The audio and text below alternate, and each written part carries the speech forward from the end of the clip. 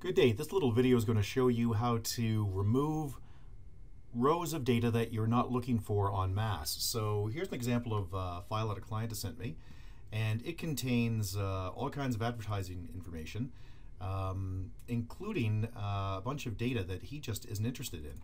So what he's looking for is anything that starts with the word advert or survey rec, I think. Yeah, there it is. SRV REC. That's the stuff he's looking for.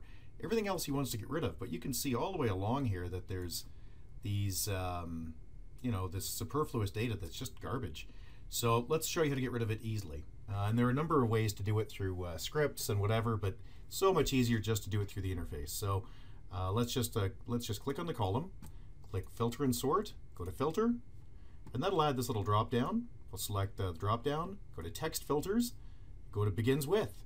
We want it to begin with advert uh, or we want it to begin with uh, S.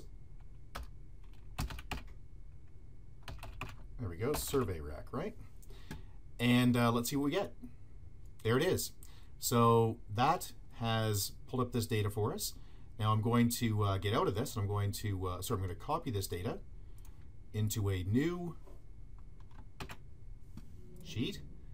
And there it is. Now I have nice raw data that I can work on. I don't have to, it's not, it's not uh, filtered in any way. It's not managed in any way. And that's it. If you have any questions, please get a hold of us at urtech.ca. Thank you. Bye-bye.